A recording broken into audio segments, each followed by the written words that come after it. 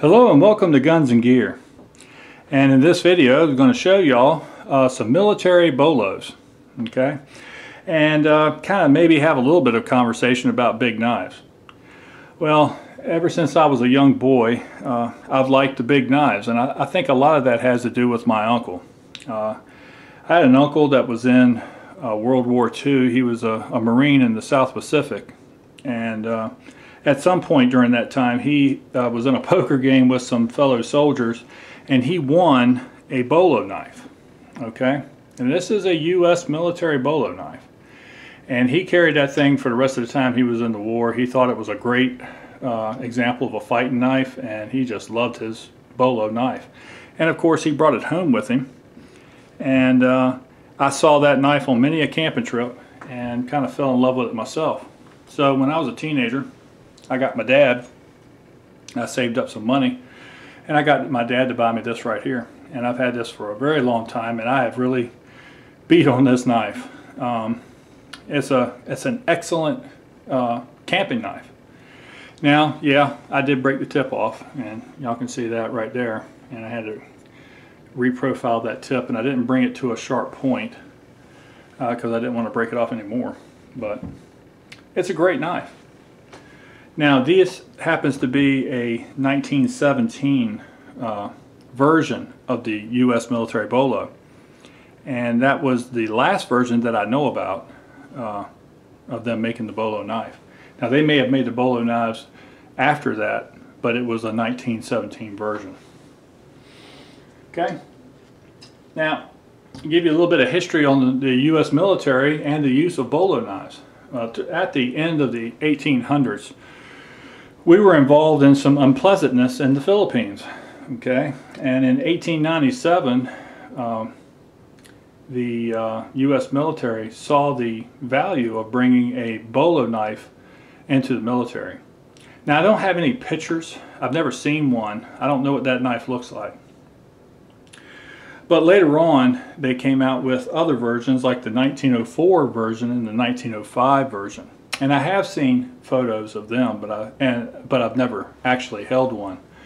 And they have a very similar handle to this knife right here, okay, except they had like an S uh, guard, and the blade had uh, swept in the back a little bit and had a rounded tip. Now, for the U.S. military, just like the uh, in the Philippines, where it is believed the bolo originated the knife was used for clearing out brush, you know, uh, chopping small wood, uh, thing, uh, tasks of that nature. And originally, uh, you know, folks like the hospital corps and machine gun squads, things like that, were issued the knives. You know, so they, the hospital corps, of course, were cutting down small poles to use for litters or maybe to put up tents for their field hospitals.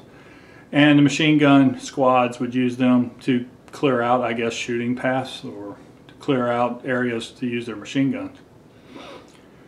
So what they found was that the bolo knife really fit, uh, fit the needs uh, fairly well early on. In uh, 1909, they changed the bolo knife and what they basically did was make it a straight back and this is a version this is an example of a 1909 uh, U.S. military bolo. Okay, now this is quite a quite a piece of steel here. As you can see, it has fairly thick stock on it. It had uh, the specs say 14 inch blade, but this one, when you measure it out, is just a little bit over 13 and 3 quarter inches. It's not quite 14 inches, and you can see that it doesn't appear anyway that the blade has ever been uh, broken and reprofiled. But at any rate, this is a handful of knife right here. And I would imagine that this would actually make quite a weapon if pressed into uh, service. But what makes that a very effective chopper also makes it a burden to carry around all the time. It is a very long, it is a very heavy knife. And when you add in the very thick, heavily built sheath that came with these knives, with the brass and everything involved, I imagine it was quite, quite uh, uncomfortable to carry around all the time. So in 1910, they completely redesigned the bolo for the U.S. military. And this is basically what it looked like. Okay. Now this is another example of a 1917, but uh, from what I've read, uh, the two knives basically look the same. They just use lesser quality materials uh, and workmanship. But this knife right here, when I first saw it, I thought it was a 1910 uh, version of the knife because it is uh, little, it's, it's a little bit thicker stock than my first Bolo. And look at the handle work done to the knife. And this is a really a nice example. This one's in very good shape. Okay, and the markings on it actually say model 1917, and I hope that shows up. And this one was also stamped uh, that it was manufactured in 1918. Okay. Now, this knife is pretty clean. Uh, really, the only marks on it is from the brass, uh, from the sheath, pulling it out of the sheath. Other than that, the bluing is completely intact and it's never even been sharpened. And after I bought it, I found out that it had a few markings on it that made it kind of uh, rare. And therefore, I didn't really mess with it. I just kind of left it alone there. Uh, I actually uh, bought it to use, but decided not to mess it up since it was in such good condition. Now, getting back to the conversation about big knives. Uh, you know, uh, like I said earlier, always been a fan of the big knife, but I do understand that the big knife will never outperform the axe, okay? Especially when you're starting to talk about cutting larger size wood. Now, if you're camping, backpacking, like this time of year, it's in the middle of June, and here in the south it's hot, right? You're not going to need a fire to warm yourself. As a matter of fact, if I build a fire at all, it's going to be to heat up water or to cook, okay? I can get by with using smaller fuel, all right? And a big, that's where a big knife excels. A big knife is just fine for messing with wood that's an inch, two inches in diameter. You can even stretch it out maybe to three inches in diameter without really using up a lot of your energy. Okay, it'll do just fine.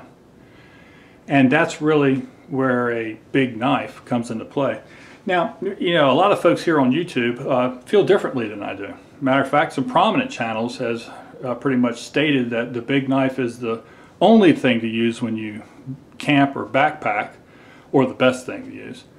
And uh, uh I've even had one individual talk about how, you know, different terrain and things of that nature. Well, I've been very fortunate. I have uh, camped a lot in swamps and I've camped a uh, backpacked a majority of the Appalachian Trail. Um, I've had opportunities to uh, backpack in the Adirondacks in, in uh, upstate New York and uh, Wyoming and the Yellowstone National Park and the Rockies and I've had a, a pretty uh, fortunate opportunities to backpack and to do a lot of camping. All right, so I've seen hot weather, cold weather, sub-zero weather, uh, rainy weather, snowy weather, all that, all that type of things. And I can tell you now that if you're going to go on a, uh, a weekend trip, two, three days, and you're only going to mess with small wood, then there's nothing wrong with a big knife. And there's plenty of good examples. Here's a good example right here. This is the Cold Steel Trailmaster. And I bought this when they first came out. Uh, and uh, you can see there's carbon V, carbon 5 steel, made in the USA. I've had this knife uh, since the early 90s. Okay, and this is a, uh, a good example of a large camp knife today, right? Well, let's look at the size difference when you place them alongside these bolos. Okay, it doesn't look all that much big anymore. Okay, and it looks rather anemic compared to this knife right here. And I'll tell you what, this knife is at least twice as heavy.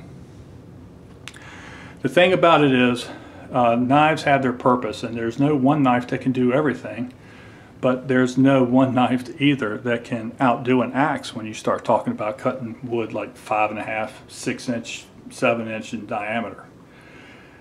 You can cut it with this, cut it down, But for those folks that want to talk about calories, you're going to expend a ton more calories with a knife than with an axe. Okay? And that includes other knives like I have an RTAK and I've just beat this thing to pieces. It's a great knife. But not in comparison to an axe. And I'm going to go further that I think that the Bolo style of knives are actually superior to the knives we generally are thinking about uh, for using camping. And that is because of their basic design, and that is that they, they put a lot of weight forward. Okay, if you look at these designs, there's a lot of weight forward in that knife. Okay, and because of that, it has a sweet spot probably from here to, to about right here. You can get a lot of power in chopping with, uh, with knives that are set up in, with the Bolo style. And that has been my mileage, okay? Now, I'll be the first one to tell you that, hey, I got friends of mine that say that, you know, hey, the knife is the thing to have and that's what they're going to use. And I'm never going to carry this knife and an axe, okay? Uh, there's just no purpose in it. I'm going to carry this knife or an axe. But I may just carry this knife and an axe because when you're talking about weight, this thing is a featherweight compared to that. Okay, and weight does matter when you're carrying everything on your back, but maybe not as much as some would uh, some would describe. All right, well this is a video uh, basically talking about some uh, these bolo knives. I do still like the bolo shape to the point where I've gotten a new one. Okay, and this knife right here is from Tops and it's called the Power Eagle. Okay, now this has a 12 inch blade and it says it's supposed to be on the website it says a quarter inch thick stock. Well, look at that compared to the Trailmaster. There's no way that's quarter inch stock, but it's still a pretty heavy, heavy built knife and it has those features of the Bolo that I like, which is that weight forward in the design of the blade. And it's a pretty good chopper. I like this knife. I've used it a couple times and I'll be doing a video on this kind of showing uh, what its capabilities are. Now it also has this right here and I'll go into more detail but that's a waste. Alright well that's uh, talking a little bit about the military bolos and big knives in general. I hope you uh, enjoyed the video and uh, as always shoot straight on the range and in life. Thanks.